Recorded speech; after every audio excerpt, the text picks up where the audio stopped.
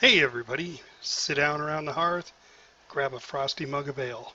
Welcome to the Lion's Pride Tavern, where we discuss all things Azeroth.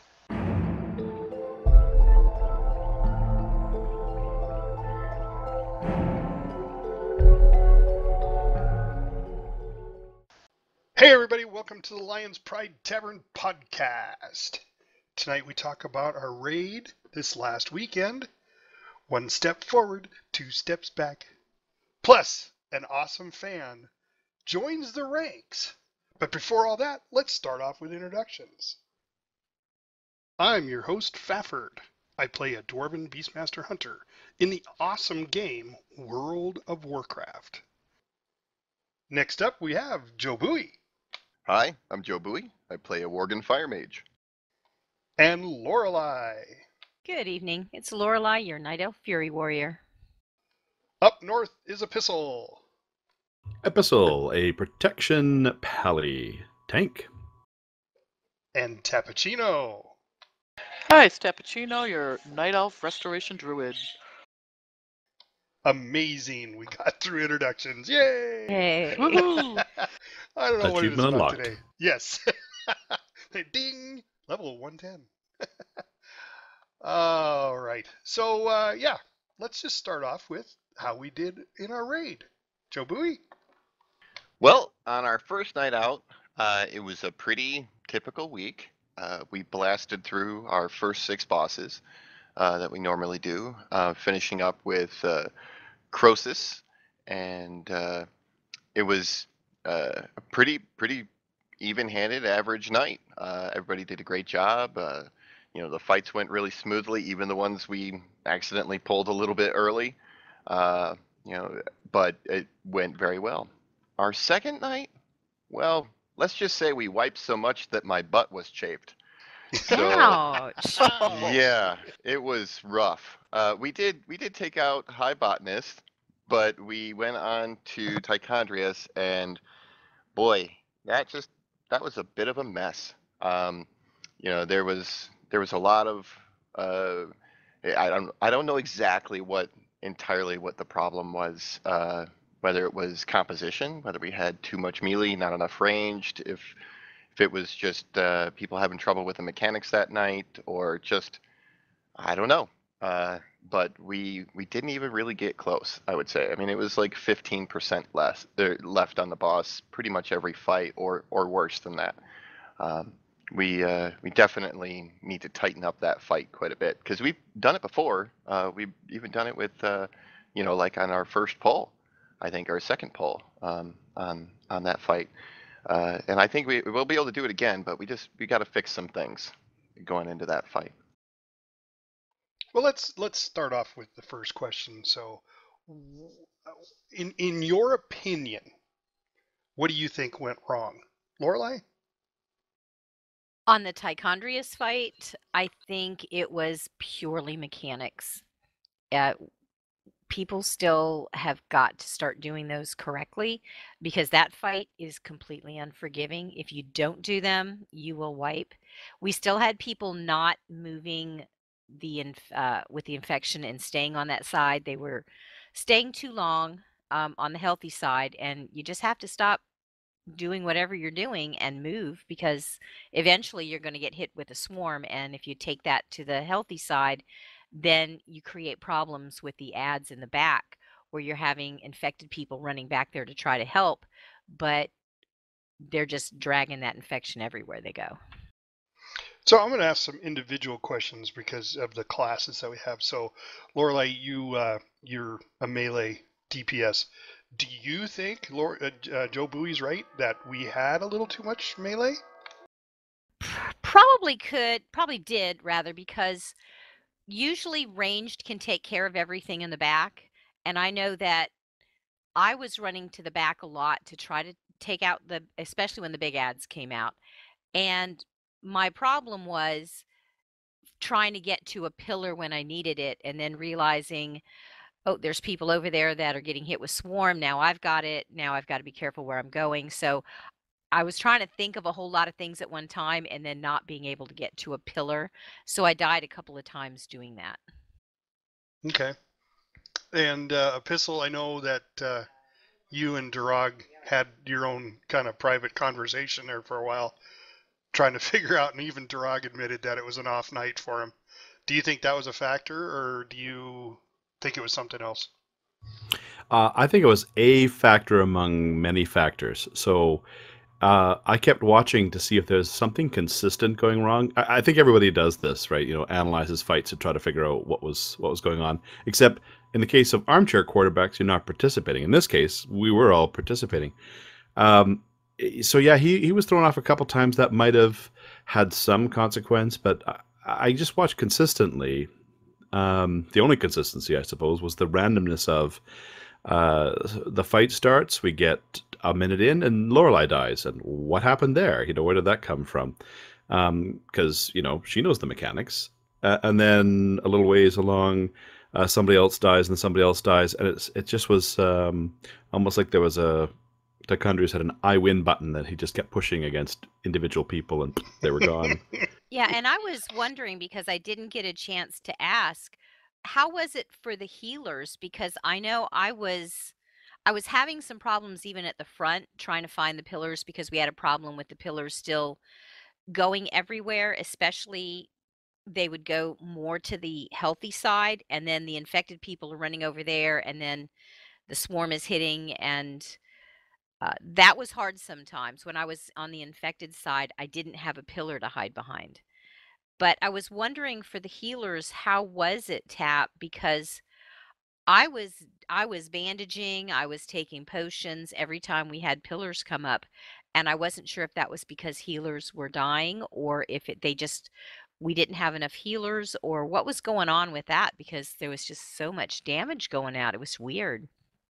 Well, we did have a really full group. I think that's probably our biggest Saturday night raid we've had. You know, with all those people, then we have all, you know, all those opportunities to do something wrong. You know, so it was a little tough with the, you know, with the healing. I think we had the same amount of healers we usually do, and um, it was it was just tough because, like I said, the mechanics have to be really, really driven. You know, and when you have so many people and then you've got people that aren't following mechanics it just makes it hard for everybody so we, Well- well, we further- have to straighten it out But further to that tap, what I'm wondering because I I wasn't I didn't have an eye on it in the same way that you would have. Was it that people just like disappeared? Because it, it was it seemed to me that look and somebody wasn't going down; they were just gone. i don't know what you mean by that As in they- their health they- went to zero really fast. Oh, so it wasn't yeah, like they were yeah. down, down, down, and gone. It was like all of a sudden, poof, they were not in the raid. Yep, yep, absolutely. There On was the floor. a- yep, on the floor, one shotted. Because I think I, I made some comments like, "Oh my God, how did that happen?" You know, You know, I I just got one shotted. What's going on? I think in part what that, you know, and this is a little bit speculation because I didn't see the exact causes and people didn't specifically say exactly what it was, but I think that might have been in part because of people's positioning for where they were standing when they got infected and then the swarm comes out and they would, uh, you know, the ranged is out there and because it was mostly melee that were getting one shotted like that and i think they I were was just wondering. and I Yeah, think they were could be. just standing directly in line of like three or four people that are in the back, and they're getting hit with multiple uh, hits of that of that carrion swarm, and it, you know it's just too much to take. I mean, you can take the one hit, you know, but taking four or five, well, I don't know if that's going to be very good for your character. So, you know, I think that may have been playing into it a little bit is the positioning of the melee in respect to where the position of the the ranged were at, uh, which was a problem we weren't really having in previous attempts on that fight, uh, even Yeah. when we were first trying it. And and Ooh. truthfully, we we don't look at like the people. We're looking at our our healing bars and stuff. So I really don't know who's melee and who's DPS unless I. uh, It's just too busy. It's like too busy trying to heal to figure out who's doing what. So I don't get that perspective. No, I definitely agree with the group. I, I think that's why I asked the question uh, to Laureli because it was, you know, she's the one that's up there with the melee, and I play ranged, and and I I'm, I'm gonna have to say it's it's probably partially uh, the fact that the raid leaders are all ranged, um, that we're not seeing the melee. So you know, it's good to get a good melee perspective. But I think we were just so melee heavy that it's just like Jobui said, they weren't getting it spread out enough to where when it got hit, you know, that's why we went over and demonstrated. But that was on the range side. We went and demonstrated. Look, if you got three people stacked, that first person is getting hit with not only his, but the one behind him and the one behind them, and then the middle guy is getting hit by two. You know, so Yeah. you know that's that's a lot of damage and i noticed and it was you guys are correct it was definitely the melees that were going down first but i figured i just attested that to there's a lot of melee so you know the odds are it's going to be a melee that goes down over a range because there's almost twice as much melee as there was range that night Yeah. Wonder if we could uh, troubleshooting use more of the back of the room effectively for that, especially if the melee don't have to run out. Yeah i'm not quite sure we're going to have to research that um, because i'm not quite sure what to do on that fight if we have more melee you know it's kind of like that one uh, and help me out with the name, but he was the big ugly. You went inside his tummy and you had to kill people in there. Oh, Oh, yeah. yeah. Fiend. Gorfiend. Yeah, and if you had too many melee, we we did that several times. We had too many melee. We just could not do it. Well, I think part of the problem, another thing that having, you know, a, little bit of too many melee in in that Tichondrius fight can produce is that's a that's a very ad driven fight um where you know if the ads don't go down fast enough then then that's a lot of DPS that is not going towards the boss and it really needs to get towards the boss. Um and so basically when we have a lot of melee they're staying up near the boss uh, a lot um, or it's harder for them to get to the ads because they have to run clear across the room uh, to get to them that you know it's it makes it a little bit more difficult. I noticed when we were a little bit more range heavy on that fight in previous weeks you know the ads were dropping much cleaner and quicker um, and it, it, that could play into it a little bit as well and i'm not sure um, you know it's possible another thing i was thinking about was it's it's possible that uh, because we had said you know the melee needs to come help out with the ads that some of the infected were heading out there as well and possibly getting other players infected as, at, at the same time you know by trying to help out with the ads and i don't know if we need to restrict it to you know healthy melee go out and help with the ads and you know uh, infected Yeah, it should just there be. It should just be healthy ones. right that's what i was thinking too you know but what? Go ahead. I, what, I, I just wasn't sure if that's what was part of what was happening because we were ending up with a lot of people infected uh, at towards the end of the phase, you know, more than we should. Um, and there's just all these little little things that, like you were saying, Laureli, the mechanics and people making sure they do the mechanics and do them properly that make a huge difference in the overall outcome of the fight. And uh, you know, it's it's it's hard to pinpoint any one thing. I, I would say it it was definitely an off night for the group, not a typical performance on stuff. I can't. I don't. I don't know if I can really sit back and blame the group. I, I, I honestly think it was group composition. When we, if we were to stop and look at it compared to when we got it down, we definitely had a lot more ranged. And I, you know, we have this saying among us, you know, blame the hunter, the hunter. and I did, and I, I will admit this on air, live, sort of, So, um, that I switched up and took away my barrage, and I went back to uh, Murder of Crows for single target. And the only reason I did that is because Dorden did it, and I was looking at his talents, going, "Oh, that dirty dog! That's why he's beating me in DPS. He switched it to single target, so he gets his numbers up. So I did it, and then I don't think we had the uh, barrages that we normally do. So I'll take the blame. Yeah, you know, spreading that out on that particular fight is is really helpful. Uh, and there's there's other things that can be done too to try and improve that. I I noticed, you know, eh, you know, as well as mechanics, there was a little bit of a lag for some people. Like they, uh, I I didn't see them performing at their at their top, and I'm not going to name any names or anything like that. But I, you know, there was parts of the fight where there was players that I saw that were just standing there, and they they weren't casting spells or attacking things. They were just standing there, and I'm not sure why. I don't know if they, you know, were having a lag spike or or what. But um, there was a there was a few that that was that happened to be the case with. And Yeah. So- my, my impression was that DPS was also down from what we normally had. Yeah, my, I know mine was a little bit lower than normal, but I, I think that was in part for, for me personally at least, because in the previous week I had done over 600k in that fight, almost almost 700k uh, on one of the polls I know, but this week I was more in the 500 range, and I, I attribute that in part to I made some changes to my tune to make it a little bit more single target, um, but then on top of that, you know when when the mechanics start going wrong and and things start happening and i'm you know like paying attention to what's happening to other players as opposed to paying attention to you know my performance and my spells uh, you know it ends up affecting my personal dps as well Well, I think that's fair. I think that's part of what being off was. That we're all just a little bit off, and a little of this and a little of that, and the whole team effort's uh, not as amazing as it often is. yeah And it could be too that maybe we need to, you know, we have a hard time like that. Have everybody take five minutes and watch the, uh, you know, go to YouTube and maybe watch the fight because we had some people that hadn't done it before, um, and it might help with you know learning the mechanics and stuff.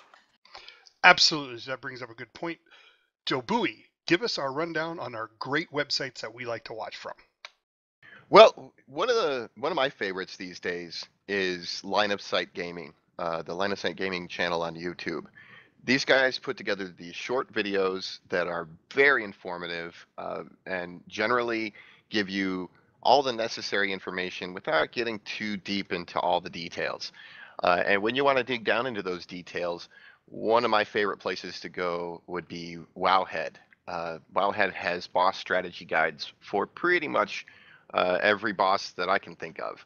And they give you detailed rundowns of all the spells, what they do, when when they happen, where you should be, and and while tho- those strategies may differ slightly from the line of sight strategies, um, it, it can give you some added perspective on what's going on in the fight. Uh, of course, your individual strategies for your raid group might vary slightly, but it's those are some great resources for some good information on learning the fights. How about you, Laureli? You got a favorite? Uh, I like the line of sight. It's it's a simplified version, which makes it easy if you want to get to it quickly and uh, see what some uh, visually what to do. You you don't see a group running around and killing things. I do look at Fat Boss just to see it in action because for me, I'm a visual learner. I I need to see it being done first so that I can understand what to do. Okay. Epistle, where do you go for all your tanking expertise? I feel like we're stealing from my tanking minute because really, and, and that and that's fine. Because what what I wanted to talk about there was the difference between a kind of a top-down view, like a bird's eye view of a fight, which I think is line of sight, um, and a three-dimensional view, which is more what you get with something like Fat Boss. So I think both have their place, and it's uh, I like to first get the top-down uh, from line of sight so I can get a sense of what's the play space, what's the arena, what's the alignment, where should people be positioned. But then I like to, to view the sort of the three dimensional uh, sort of thing that you'd see on Fat Boss or other videos, where you know, well, what's that going to look like from my perspective and from my uh, gaming window.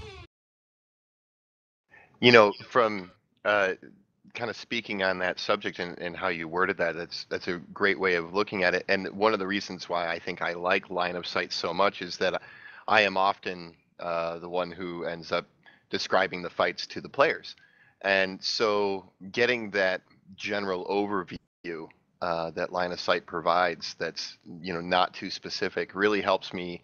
Um, try and figure out what's the most essential information that I need to pass on to the players in the raid uh, to to try and get us used to the fights.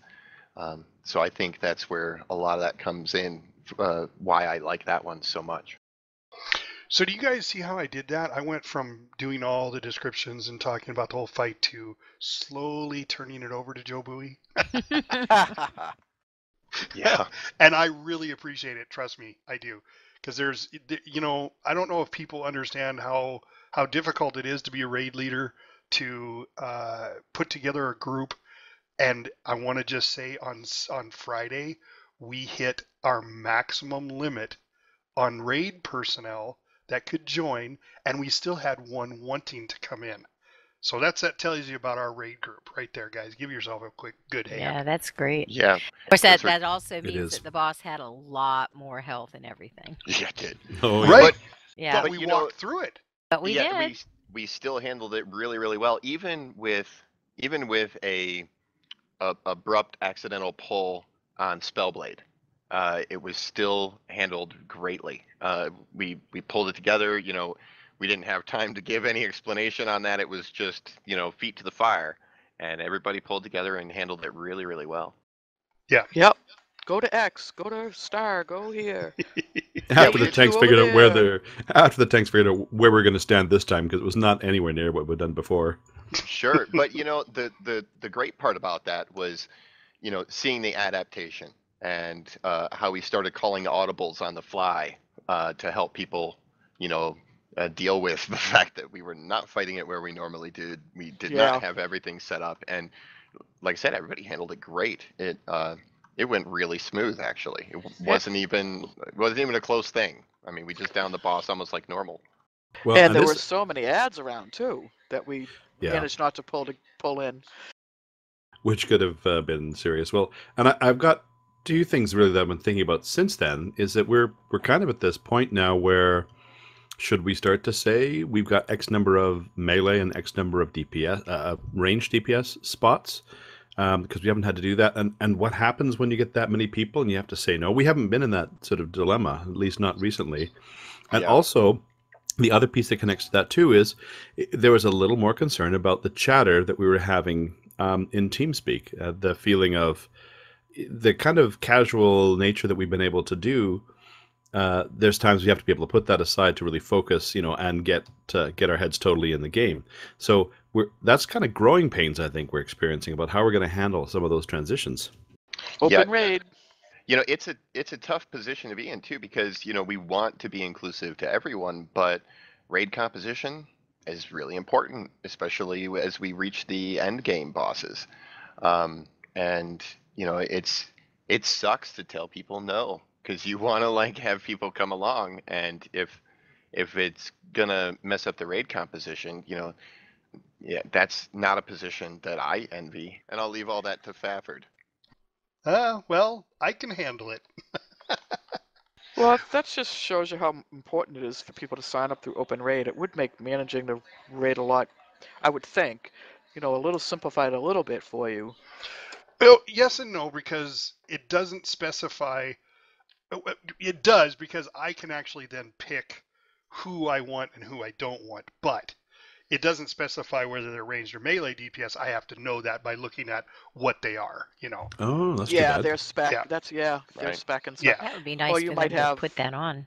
Yeah, it would be nice. I can't even get them to change the the level from 100 to 110 for our 110 fights. Yeah. Really? You should be able to do that yourself, I would think. No, you put But you in can, one. you- huh? No, you put in 110 because they haven't changed it on their website. You put in 110 and it says you have to go lower than 101. Wow. the new expansion lets you go to 110. We can't even do these raids unless you're 110. wow, that's a that's a Yeah. problem. Well, you know, like I said in the past, they got Zerg bottom out, and I don't know that they're actually putting as much effort into keeping Open Raid website going. You know, it's going because people are using it, but uh, you know, it's a great tool, but they just I don't know. I, I don't know what the deal is, but I've I've talked to him several times. I actually had a really nice conversation going with one tech, and and he goes, "Well, let me outsource that because we don't actually do that here." And I'm like, "Wow, I'm talking to somebody that doesn't actually have access to the site to do anything about it." Wow. wow. So You well, know, maybe we my- should uh, my, uh, mobilize our, our, our, our, our audience here to uh, get out there and if they use Open Raid, send little letters to the developers. Yeah, I mean it's a simple thing. I mean it's I, I can't imagine. You know, I, I know several website programmers, and I've I've used the boxes, the drop down boxes before. It's just a matter of putting your parameters in there. But I Yep. don't I don't get it. I wonder if I wonder if some of the pullback from Open Raid is in relation to the fact that Blizzard has made so many strides in making it easier for people to find raids in the game. You know, with the with the group finder that's available uh, for finding dungeons and raids and world content and quests and all that sort of stuff. They're trying to integrate that into into WoW itself. I, I wonder if maybe that's why they're not putting so much importance on keeping open raid as up to date as they should. It, it's entirely possible, but for me, you know, for the way I use it, um, it's a recruiting tool. You know, it's to get enough players to join our group because you know how else do you find good players other than okay, well let's pull in a bunch of pugs and if there's a good one, we'll go ahead and and ask him to join us every week. But it never happens that way. I mean, I've found a few people, but it's mainly been like, and you guys can attest to this, especially Tapachino, because she was one that was brought in by somebody else, Yep. and now she's a regular raid member. You know, um, the rest of us have been raiding a long time together, but with her and and and Faye has brought in quite a few of her friends, and they're wanting to stay with us. You know, and that just brings me. I, I'm sorry. Go ahead. I, I'll because it brings me to where I want to go next with our podcast. Okay. Um, we have uh, we have put up a uh, Facebook page as as well you know, and that's just brand new to us. Um, it's at uh, facebook.com forward slash Lions Pride Tavern. Um, but uh, we had a uh, a fan get a hold of us, and his name's Arkan Shadow, and uh, or Archon Shadow, I guess Arkan Shadow, however he wants to pronounce it. He's a Night Elf Havoc Demon Hunter and he has been listening to our podcast from the very beginning. And I, I don't know about level or about episode one from then on, and I don't know how he found us. Hopefully by one of our means of iTunes and and Google Play or Podomatic.com. But uh, his guild fell apart right before Mists of Pandaria. And as as a lot of guilds do, you know, and back then when Blizzard was doing it, uh, that was about the only way you could raid, you know, was you had to be in a raiding guild. Now, with the way Blizzard has changed it all, um, you know, you can do the searches for it. But, and I've heard this time and time again, their guilds fall apart and they can't do anything. And we have a couple of people that have joined us here. Um, Faye is one of them, and uh, Sixes is the other. And their guild fell apart. They're the only ones left in their guild Yeah. and we're, we we keep convincing them or trying to convince them to come over. You know, we don't have to have a guild, but you know, come over to our guild if your guild fell apart and you feel lonely. You know, come to our guild. Well, his guild fell apart in Mr. Pandaria, and he started listening to us from this beginning. And he says we remind him of his guild and the way it used to be. So I just thought that was so cool. So I got a hold of him, and one of the things, and I want to quote this exactly the way he wrote it. Your group gets me through some hard days. When I'm on the ambulance transporting a patient, Mhm. Oh, and when I get back, he can escape a bit. He says, I can escape a bit for listening to you talking about your week. that's oh my awesome. goodness. yeah, that's really great to hear. Yes. No, I was just saying it is it is really good to hear, and I think I I think there's so many people, um, even that I've known, who've had a similar experience like that, where they've actually really been emotionally invested in the game and in the the teams or the groups they've worked with, and to have uh, to have that lost is significant. It is traumatic and it's difficult. I, I don't know that people really talk that much about it or identify it, but it's um it's a real loss. It is. Yeah. And it's you know, easy to get lonely in a crowded room too. Yeah, very Yeah. true. Very true. And what's what's unique about this group, I really think, and I think that's why we're getting, by the way, almost 2,200 listeners now. Yay! Woohoo! What a great audience. I think what's really unique about this group is that you know my wife and I kind of plan everything. My son is the main tank, and he tanks with Epistle. Um, you know, we've actually drove up to Canada and met Epistle um, and his family, and and Bronze Beer and and uh, Worgen, and we also actually met uh, Donabelle and Chugal. So you know, in person, in real life, and that helps because brought. I think I, I I can say this with all honesty. It brought all of us together. Um, but Very because true. of our composition, it is tough to be a raid leader and an organizer but we have taken bits and re- pieces of responsibility. Um, my wife does a lot of the when we're in game and we need to uh, change group compositions in certain groups. So we set up three distinct groups. She's the one doing that in the background for me. Yeah, it's not me. You know, I mean, I tried to at the very beginning when we first formed this raid group. I tried to do it all, and I finally went to my wife and my son. I said, "Look, I can't do this. It's it's too much. You know, I got to be on an hour before the raid starts just to make sure if we even have enough people to raid with." And it was driving me bananas. And that's when I found Open Raid, and that helped. You know, but uh, for the most part, I mean, we've all come together like a glove in in without anybody actually trying to organize it. It just fell into place, and I think that's what really makes our raid group fantastic.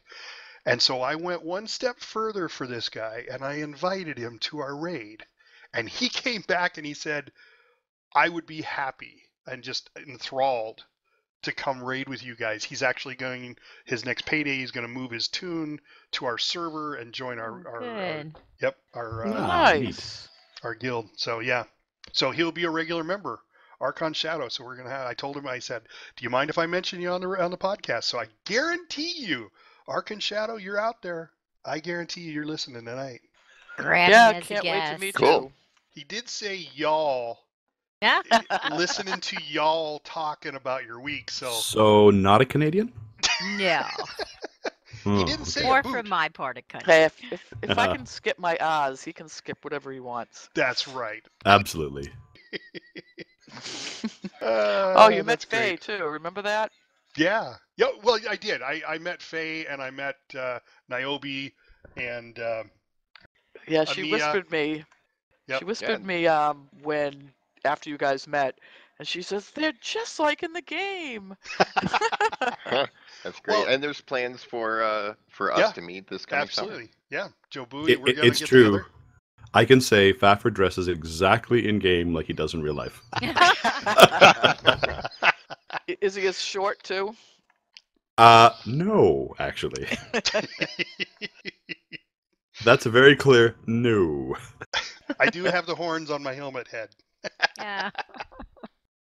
Yeah, I was I was talking to Donna Bell during the raid when we took our break, and I said, you know, one of the things you could do is is re redraw me now that I have my complete set.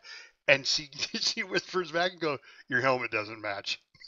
Ah, I'm like, but I like my helmet. It's got big horns on it, and I'm such a short little dwarf. uh, so too funny. So Archon Shadow, welcome to the group. Um, I'm going to announce this on air because I'm going to hit you blindside with it. But we would like to get you on the podcast as our special guest, so we can learn a little bit more about you. So if uh, if that's something you want to do, you know how to get a hold of me. Get a hold of me, and we'll set it up for uh, our next uh, podcast recording time. All right, guys. Um, anything more on this weekend's raid? I mean, I I think we did very well. Um, I think we just had a little bit of twisty turny there at the end, and I think it was just a lot of little things. But that's how much just having little things change that can that can cause us to go from yeah we're invincible to going to oh crap what the heck just happened Yep. We'll get and I it. know yeah. And we and we will and we will get it. I mean and technically that is our progression boss. Because Right. we've never been past him. We've got him down but we never went past him. So um, i'm not too worried about it. So for your for the raid uh, members that are listening we will get it. I guarantee it, it we're going to bounce back.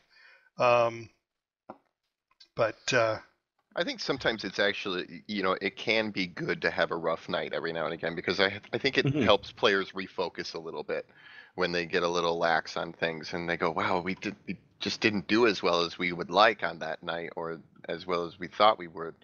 And, and then and they, they work a little extra hard coming into the next week, I think. Yeah, it kind of gives you some humility, you know, to say, "Oh, I really got to make sure I do my best." Yeah, well, and you know what was funny is I I listened to all of us, and we reiterated all the things that we've talked about on the podcast. Now you guys got to make sure that when you're coming in, that you're you know you got your flasks and and the food and your enchants. and all your gems. so Bring I your A makes- I think it makes us better raid leaders too, because you know we're uh, we're reinforcing what we talk about on the podcast instead of doing just the opposite. Well, that tattletale you have uh, that comes up is great because it just it's po- you know points to people who may not have that.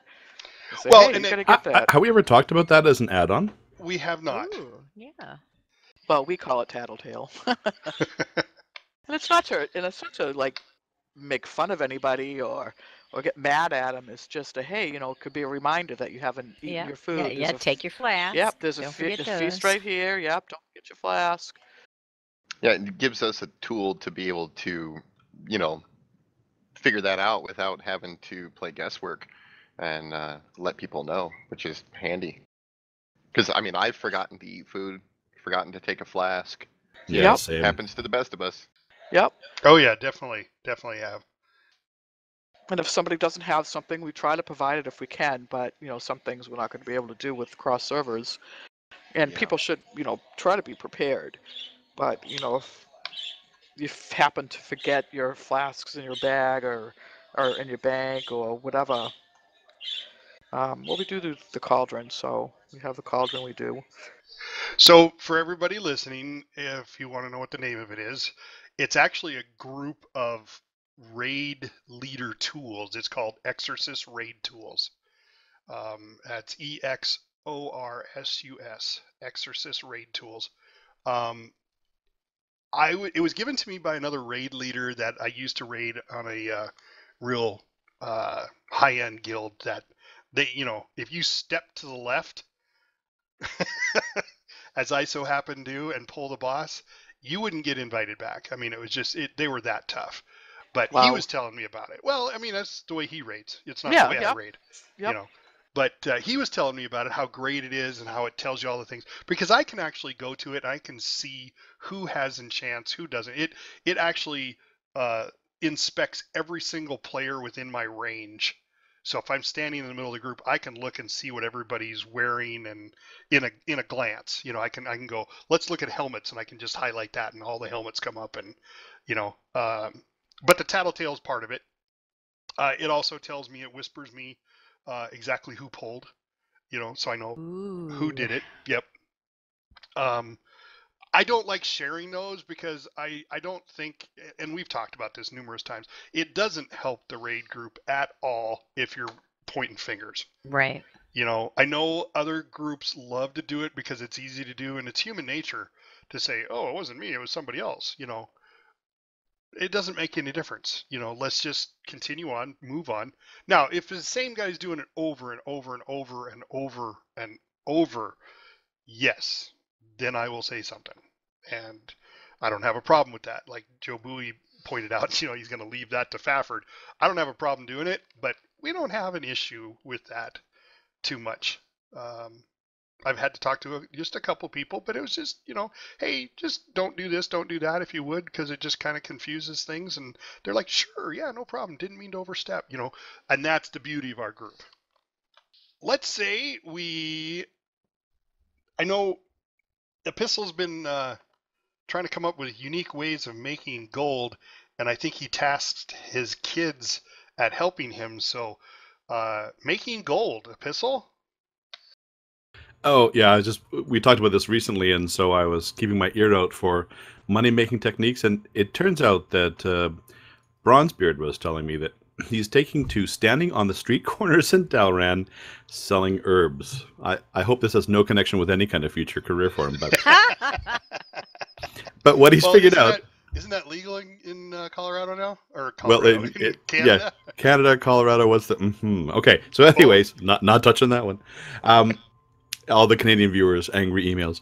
Um, so what will what he's been doing though? He'll just go. He'll buy several stacks of herbs, and then come back out and you know call them out. And of course, I've been in this situation even as a mage, where if somebody was just right there selling it to me cheap, uh, ish, but maybe a little more expensive than the auction house, and I just need ten uh, I might sell it. So apparently, he's been spending several hours of his time this weekend, rather than you know studying for exams, um, selling herbs on street corners, and apparently doing fairly well for himself. That's amazing. Uh, so after this podcast, we're going to see people on the street corners now selling. We're all gonna Yeah. be out there in Dow. He's gonna be like- bad. He's gonna be mad. It's like, why did you have to tell him? That was my gig. They're all cutting into my uh, yeah profit margins. Well, there's lots of servers, you know. It's true, and he and he recently changed servers, so he's not on uh, some of ours, anyways. Wow, that's amazing. I, I I would not think that would happen, but you know, you think about it. He's got a market there because there is no um, auction house in Dalaran.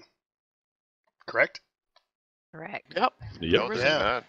So he's creating his own auction house. That's that's that's that's thinking. He's gonna go somewhere. He may be president someday. Except the whole being born in the. Never mind. Prime Minister? You know, maybe? There you That'd be go. prime minister. Uh, all right, uh, so let's let's talk about a couple of things that we found to be new or we didn't know about in WoW today. Jobui, you got one? Yeah, uh, this week I learned that if you beat Gul'dan, uh, even in LFR, uh, you can complete the quest with Khadgar after the fight, and then if you return to Shalaran in Suramar and talk to Oculeth, uh, he'll give you a quest and teleport you to the Nighthold. Uh, not the raid instance, but a separate instance where you will see a little bit of stuff happen there, and then you will get your very own Arcanist's Mana Saber mount, which is a very pretty mount. Ooh, Cool. Yeah. So if if those of you who have been interested in getting that mount, I, I know I saw a lot of people get it who had completed it on normal uh, or heroic, um, and uh, and I was like, oh, well, that's a cool mount that you know we'll get eventually. And I was surprised to see that you could complete the quest uh, even in LFR, which is pretty handy. I actually I did did that in LFR and I didn't realize that you have to turn the quest in before you leave the dungeon or the raid. So I ended up just leaving the party and getting out of the dungeon. I still have the quest I haven't turned in yet, but you can go back in and you know you have to kill him again though, and, and then turn it in. Yeah. so don't that- forget to not leave until you turn it in. Yeah, that that happened to me as well. Uh, I was actually I was queued up for multiple LFRs, and um, you know my queue popped up right at the end of the Gul'dan fight. So I was like, yeah, sure, I'll head to the next one. And Yep. then I and then after I got done with my LFRs, I was like, where do I turn it? Huh? Oh man! And then I had to go kill Gul'dan again in order to turn in that quest. Oh, I actually found an accidental fix for that because uh, I'd had the same thing at the beginning of our raid on Saturday. People had talked about getting it, so I was like, "Huh, t- why don't I just talk to the person who's going to let me turn it in?" I did, and he teleported me to it, and I handed it in while in raid. And So I got it at the start of our raid. Oh, you mean That's mean interesting. Who did you talk to? Oh, uh, you have to talk to the guy in Suramar who does the teleportation. If The you talk to Oculeth. Oculeth before Yep. you turn it in Khadgar's quest, he'll send you to Khadgar again. Uh, I don't know the exact sequencing, but I just know I'd only done one step towards a quest, uh, like I turned a quest in, but then hadn't done the next thing where you have to talk to him and he teleports you. But I was able to do that at the beginning of our raid, even though we hadn't cleared the boss. Interesting. who typed up the portal to Dalaran? Oh, I did. Yeah, I was just running down the road past Stone Stonehoof uh, Watch and saw something glimmery off to the side, and I went back off the road. It's off the side of the mountain to the left side, and there's a couple of mages there with a portal up there, and it's just a portal to Dalaran. So I'm not sure. I've never seen any portal anywhere else in any of the zones, and hadn't really paid attention to whether or not it's been there before, but it's there. Well, now I know I've got a portal to Dalaran in my hunter's lodge. This is just outside. I'm gonna go. I'm, I'm over here right now. I'm gonna take this one tune over there and see if it's still there. Okay.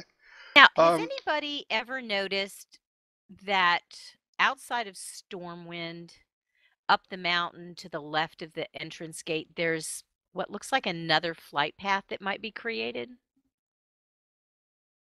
Hmm. Outside of Stormwind? Yeah. It was up a mountain. There was a an eagle sitting in one of the flight path nests. And Oh, Yeah. I I went there.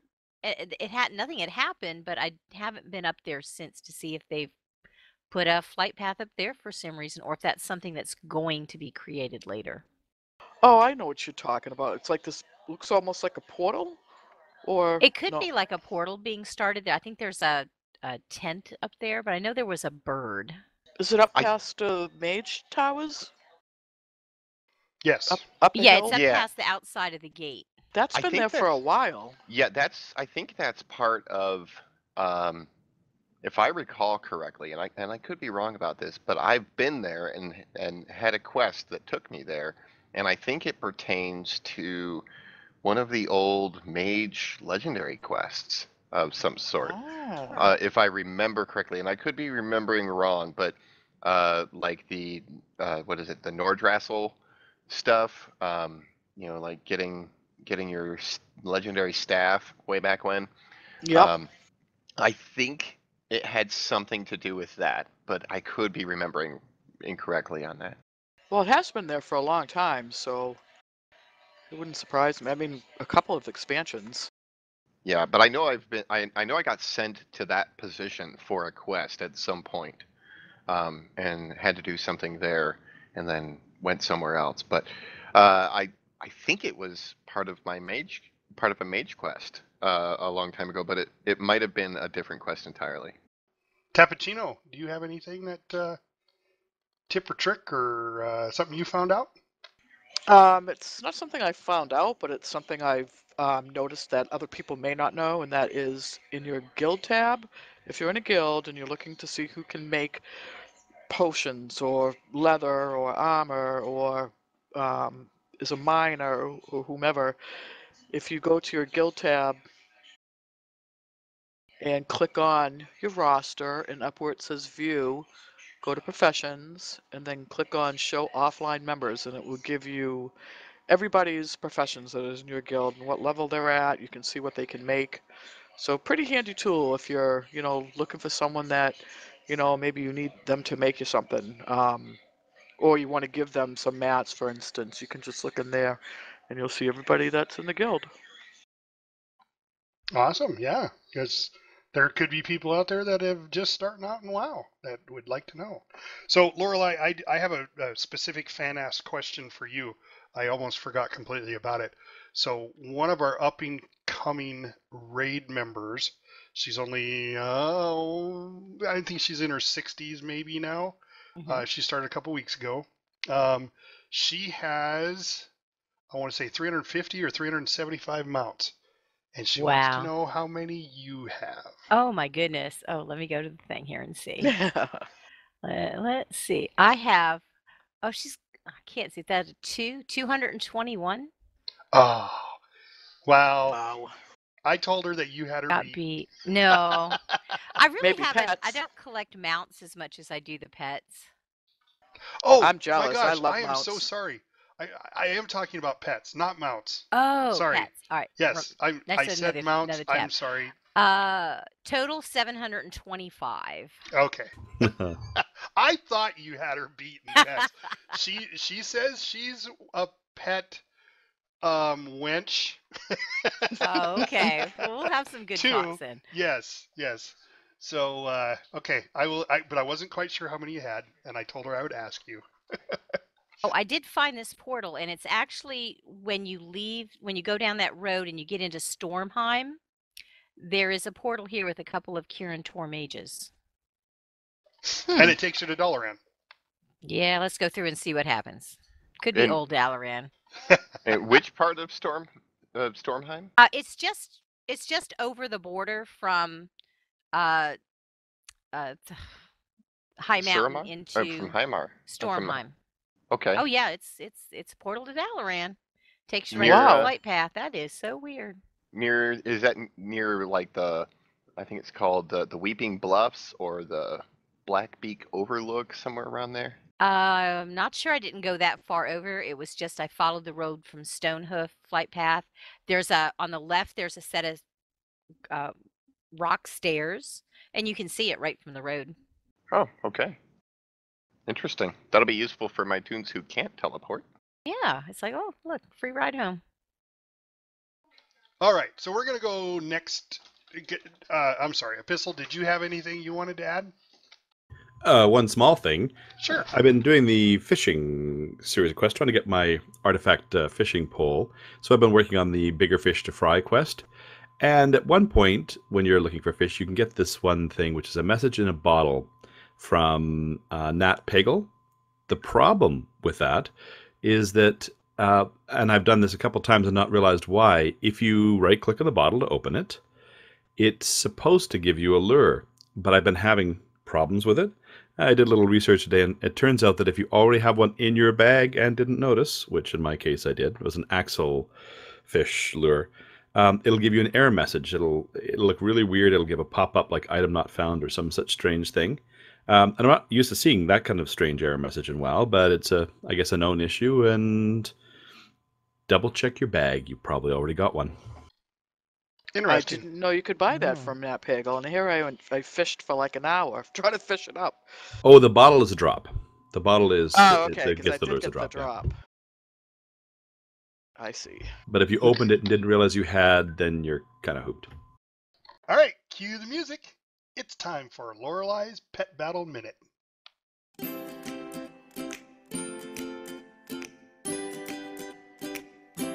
Pet battlers. Today, I'm just going to talk very briefly about some tips to use to help you get your pets leveled up quickly. And one thing you need is your safari hat, which you can get from defeating 40 pet master tamers. Um, that will give you 10% experience every time you try to level a pet. So make sure you have it on.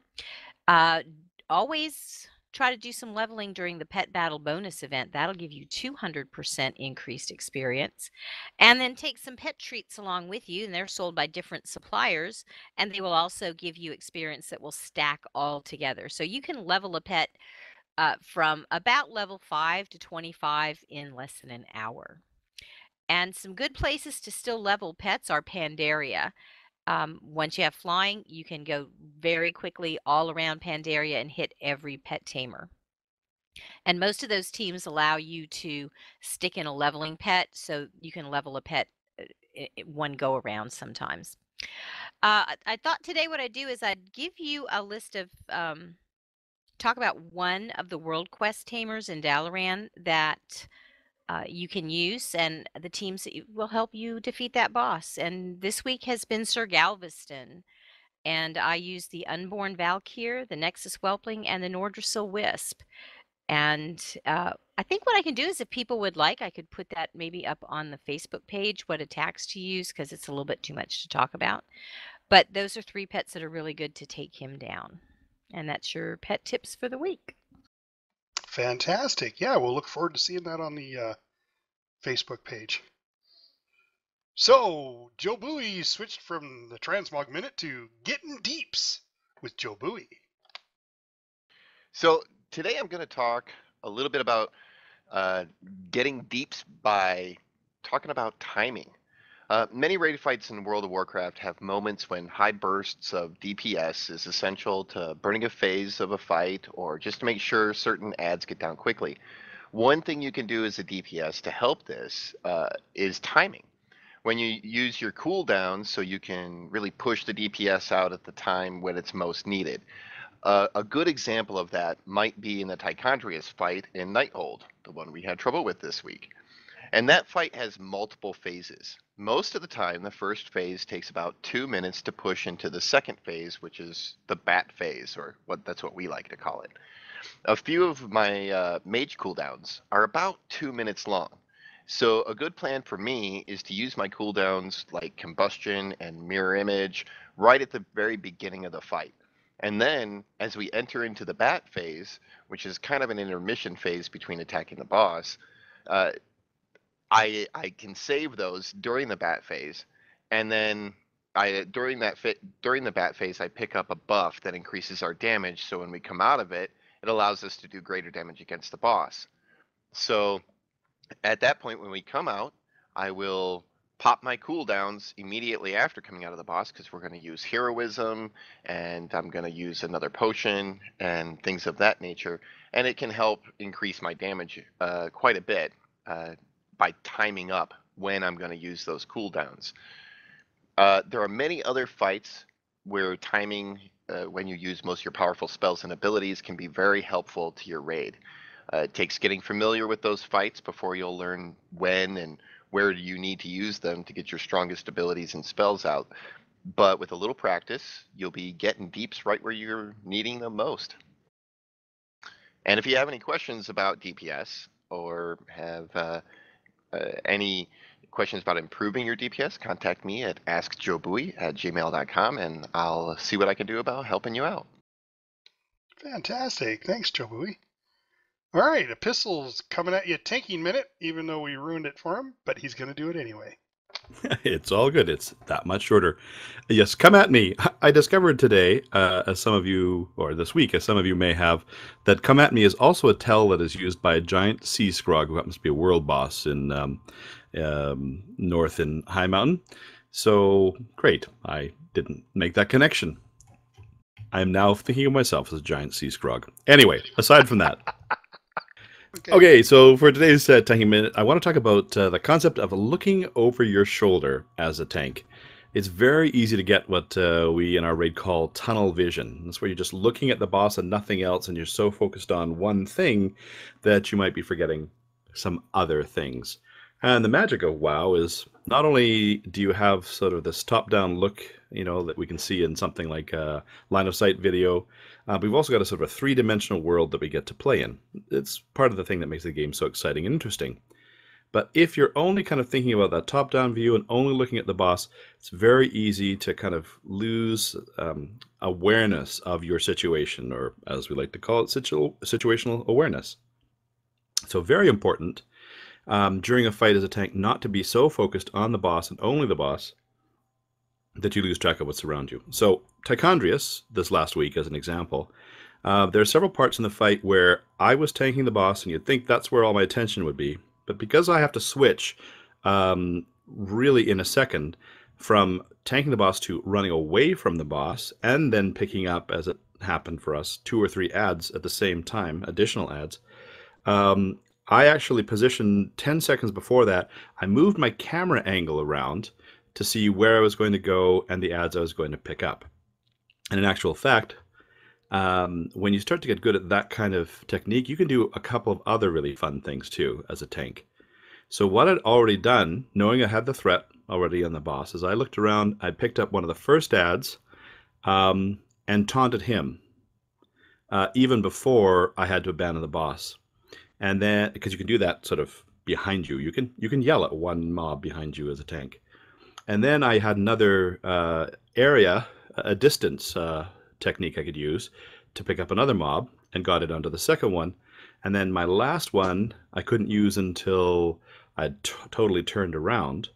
Um, but it was possible to do that because i again had the camera angle ready to go. So the minute i knew the dark was taunting off me I could charge out, throw my Avenger's Shield, which is my great pulling technique, and capture all those ads. And that way I could go from fighting a boss in one direction to grabbing three ads at the back of the room simultaneously. A little tricky, but once you kind of get used to that and you're used to moving your camera angle around and looking at uh, the fight differently, uh, you can start to think ahead how you're going to be pulling these mobs that are appearing, fortunately, at a more or less uh, predictable pattern. And if you don't know how to change the camera angle, it's fairly simple. Just your left uh, mouse button on the screen, move left, right, up, down, and you'll get to see how uh, how magically you can be looking over your shoulder. And that's my tanking minute.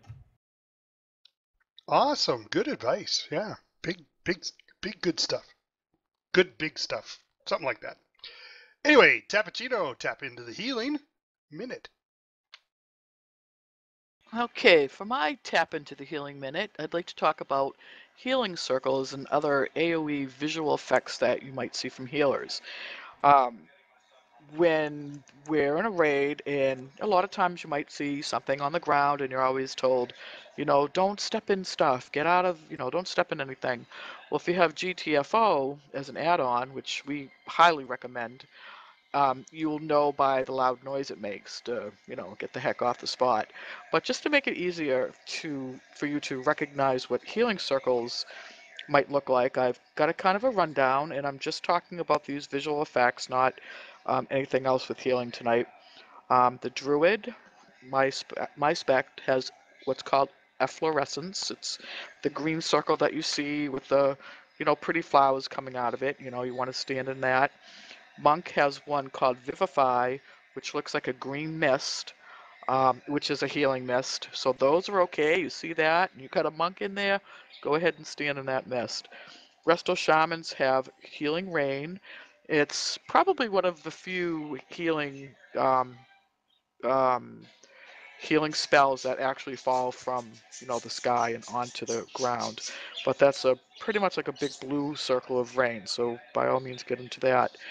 The Holy Paladin has what's called the Light of Dawn. The Disc Priest has Power Word Barrier, which is a big golden globe-like spell. It's it, uh, it's a major healing spell, and if you see that, you know, go in and, and get some healing. There are some other bosses that have big globe-like things that are you're not supposed to stand in, but the healing, the, the disc priest rather, is a big golden, and it's pretty, and you know, you just want to go into the light. And then the holy priest has basically their their spells. They don't have like a big AOE effect on the ground spells, but they do have like all theirs are bright and golden lights on the target. So those are nice to have. And then in this uh, in Legion, there's a new trinket called the Perfectly Preserved Cake. And what it will do is a healer can put it down on the ground, and it will stay for 20 seconds, and up to five allies who click on this can um, absorb over 600,000 damage for 12 seconds. So if you're a healer and you have that trinket, you know you you might want to when there's going to be some high damage, you know, put it down and tell people, hey, I put the cake down so that, you know, five DPS around that can and grab a bite and, you know, get protected. Um, it only lasts for 20 seconds, so I do suggest that you know you put out a, a, warning to the raid that you're putting it down so it doesn't get wasted. I believe it's got like a two minute cooldown, so you know you can put it down quite often. And that is my healing minute, and I will have to get back to you on the Holy Paladin. Not a problem there at all. We can talk about that next week. Tap, that was fantastic information. Thank you very much. Thank so, you. So, uh, that, that, that, that, it's WFN News, Warcraft Faffard News. So, the Un'Goro Madness starts this Friday, the 17th, and ends on Monday, the 20th. So, don't miss it. Darkmoon Faire ended. Yay. Aww. I'm not a fan. oh, love it. And this is your last call for the Flame Saber mount. If you haven't gotten it, Tuesday, the day after this airs, it's going away. Get your 15 uh, team. Oh, they're not even kills. They're just uh, you got to participate. 15 team participations to get your mount, the Flame Saber mount. So I want to personally thank Archon Shadow, for letting us know exactly why we do this podcast. Thank you very much. Thank you. Thank you. Mm-hmm. Yeah, and thanks. we will be looking forward to seeing you in our raid. So don't don't let us down. Join us up. Everybody, thanks for coming. It's been fantastic. It has. See everybody Thank you, everybody. Weekend. Thank you. Thanks again. Thank you, listeners. If you like this podcast, throw us a like and subscribe to our channel. And please, leave comments or questions below. Maybe we'll answer them on the air next podcast. We are hosted on Podomatic.com. Our website is lionsprideTavern.podomatic.com. Our podcast also airs on iTunes for Apple users, Google Play for Androids, and YouTube. Just search World of Warcraft Lions Pride Tavern Podcast. See you next week, and thanks for listening.